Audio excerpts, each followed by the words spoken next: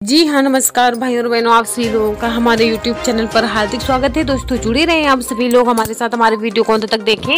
हम आप लोगों को हरियाणा की सबसे बड़ी खबर बताते रहेंगे, जो कि बुज़ुर्गों को लेकर के सीएम खट्टर ने सबसे बड़ा ऐलान किया हुआ है।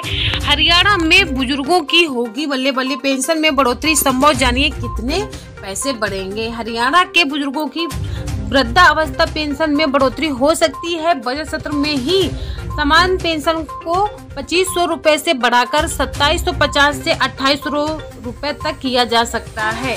अनुसूचित जाति व पिछड़ा वर्ग के लोगों को भी तोहफा मिल सकता है। चार दिन के अवकाश के बाद सोमवार को बजट सत्र की कार्यवाही फिर से शुरू होगी। आठ मार्च को वित्त मंत्री होने के नाते सीएम खट मनोहर लाल खट्टर ने भाजपा जजपा गठबंधन सरकार का तीसरा बजट पेश किया है।